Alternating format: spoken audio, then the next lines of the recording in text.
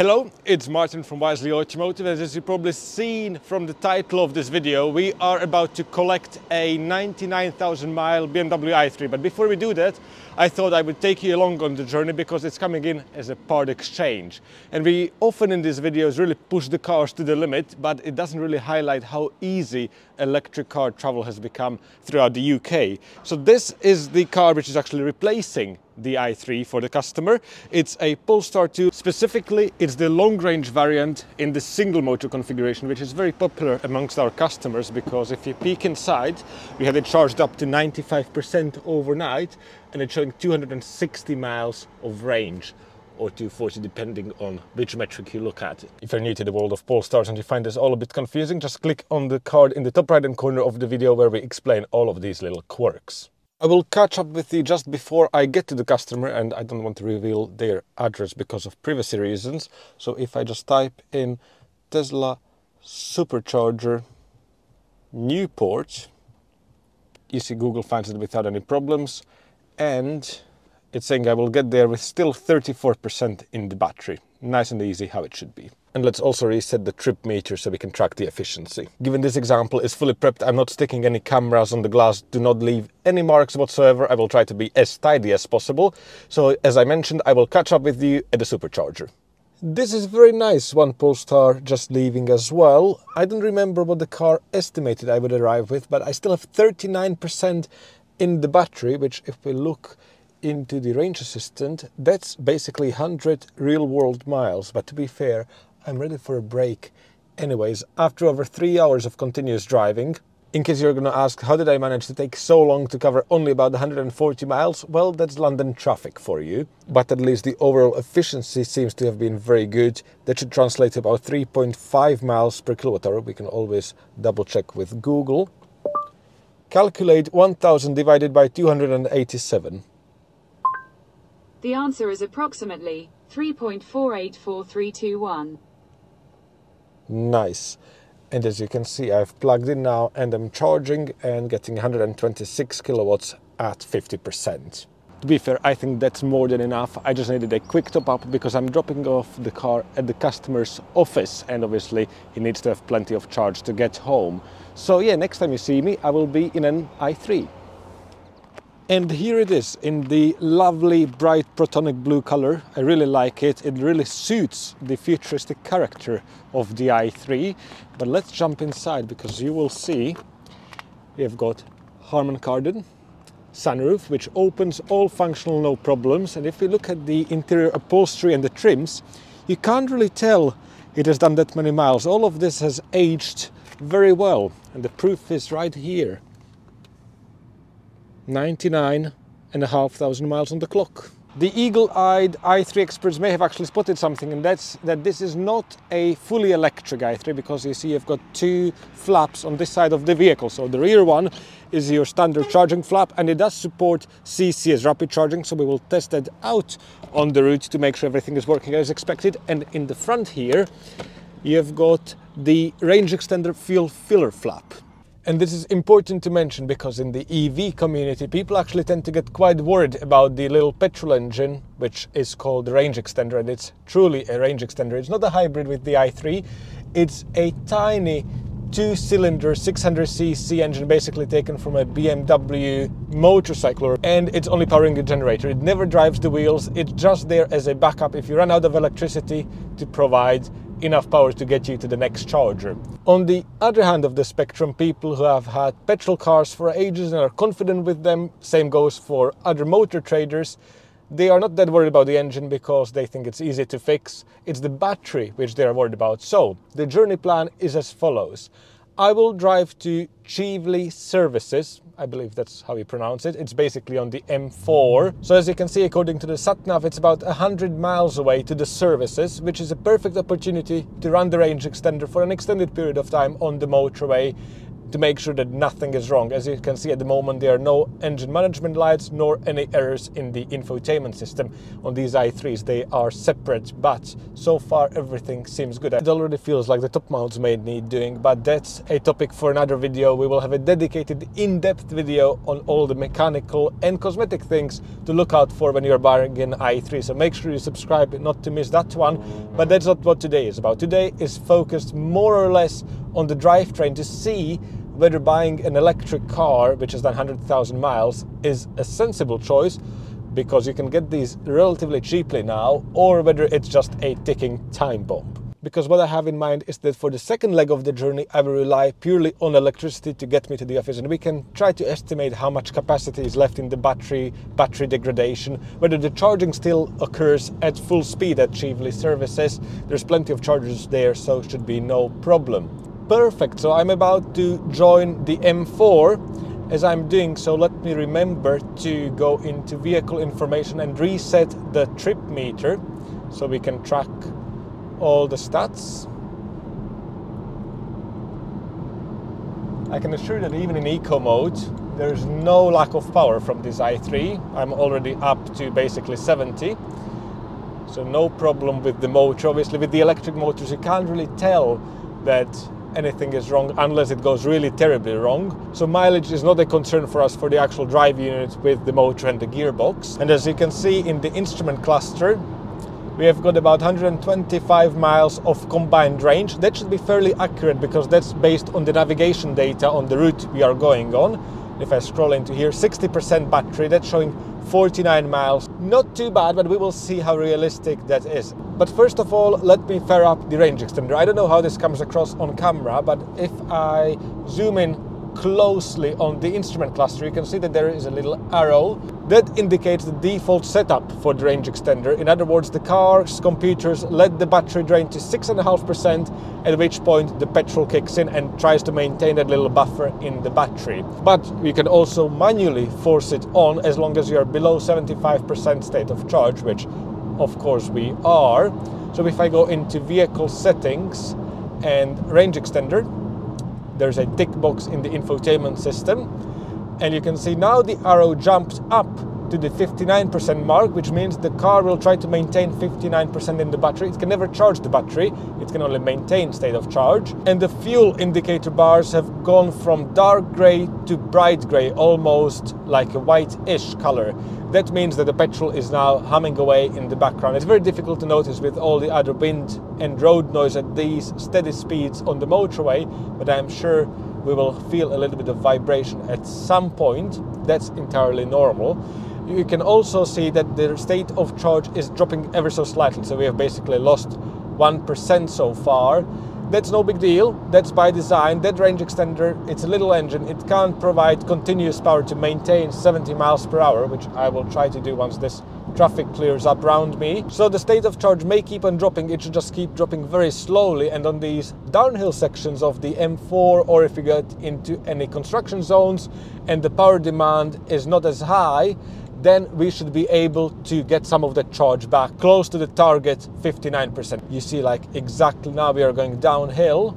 I can't even hear the range extender running now, but because we are regenerating some power, we are already back up half a percent again. But yeah, I will just keep on driving and report if anything of interest happens in the meantime. I'm about to leave Wales and so far, call me impressed, the little Rex engine is not struggling to maintain state of charge. I'm locked in at 70 miles per hour on the cruise control and I've only dipped a couple of percent below the set target, which is 59% still. As you can see, no warning messages, all is good. I'm about to run out of petrol. I only have about a mile left in the tank. Battery impressively still at 59%, even though I've been doing 70 most of the journey. So that's really not bad at all. No abnormal vibration or noise from the Rex engine no warning messages. So as far as I'm concerned, this is all good. Obviously, we will also inspect it on a ramp from underneath before sale, but you have to keep in mind with these i3s, they are so sensitive and there are so many fall detection systems that if there was something wrong by now, I'm sure we would have received a notification. And there we go, we dropped from zero miles to dashes. So the range extender is officially off and we are back to using only electricity. So I must have done about 50, 60 miles on Rex alone. That's what we would expect on a full tank. And now have about 58 miles of range remaining on the battery and only 24 miles to go to the services. I reached some roadworks now, but I'm very close to the services. So let's look at the data so far. We go into the trip computer you will see that the efficiency has been 3.9 miles per kilowatt hour, which is actually quite good for a motorway heavy run, which this definitely was with an average speed of over 64 miles per hour. Who said that if you have an electric car, you have to drive behind lorries at 50 miles per hour? That's absolute nonsense. And here we go, plenty of nice, super fast 350 kilowatt GRIDSERVE chargers. So let's see, let's uh, go for this one at the very end. Time to plug in, contactless payment, and we should start charging now. And the power is ramping up, so this is all normal. We are expecting about probably 45 kilowatts at 38%. The thing is, these i3s are limited by how much current they are designed to take, which is 125 amps. So as the voltage in the battery rises, so will the charging power. The peak should happen at about 50, 60% at 50 kilowatts, and then at the top end of the battery we will drop down again.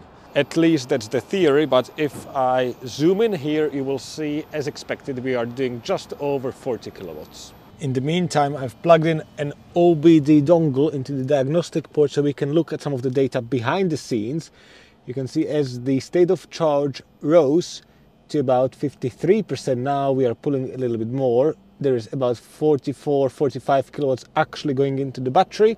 And we can see that the temperatures are looking all good. It's quite mild outside only 12 degrees celsius so i don't even hear the air compressor running to chill down the battery pack but this is all as we would expect and also if you look closely I have spoiled one little bit which I wanted to leave until the end of the video, which is the state of health. 88%, but that's not quite the entire story, so make sure to stick around because we will need to discuss this in further detail. We are now nearing 80% where the theoretical 50 kilowatts peak should occur and you can see we're just a couple of kilowatts under that so it's fair to say that yes it has maybe lost a couple of kilowatts of the peak rate but it's no different to a combustion engine losing a few horses along the many years and miles of its lifespan so realistically this will only add maybe one two minutes to the total charging time to 80%. Just reached exactly 90% and if we look at the power, that's the drop I was talking about. We are now ramping down the charging current which reduces the total charging power. Less than 25 minutes to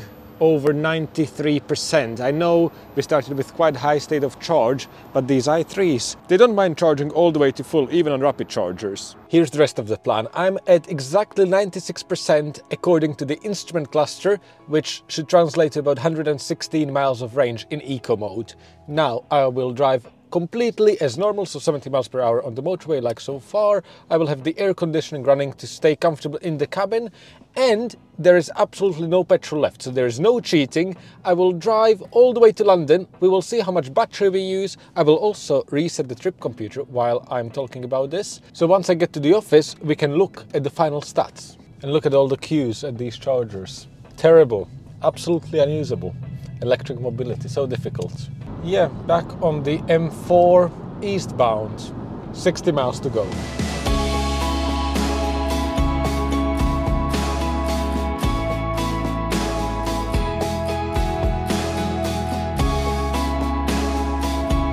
I'm about to head through central London, so the average speed will drop dramatically, but so far on this run, I've done 48 miles at 3.9 miles per kilowatt with an average speed of 64 miles per hour. So very similar to the previous run, but obviously now purely on electricity and the battery state of charge is 52.5%. And I will put the exact motorway range number in these nice conditions into the banner below my face, but basically 80 to 90 miles of real world range in these mild conditions that's pretty good because that's what these cars used to do when they were brand new. Keep in mind this is the middle battery option, the 94 amp hour.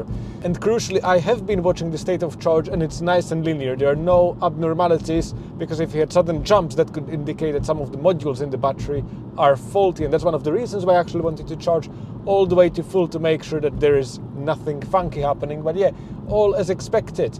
But it's not all over yet because in the office we can cross-check the numbers. I've arrived in the office and now it's the fun game of deciding which computer we trust the most because the numbers do differ slightly. The traditional trip computer gives us all the info we really need because we know how many miles we have covered, we know our average efficiency, and we also know how many percent we used based on the information from the instrument cluster. So it's very simple math to work out the energy used to cover the distance and then estimate how much energy the battery would hold from a full 100% to 0% charge. According to my math, that works out to 28.2 kilowatt hours, which is actually a very optimistic number. Because if we, for example, look into the battery kappa max, I know all of you i3 fans, I kept you waiting this long. The kappa max figure on this car, as of right now, is 28.0 kilowatt hours. So, which one is more accurate?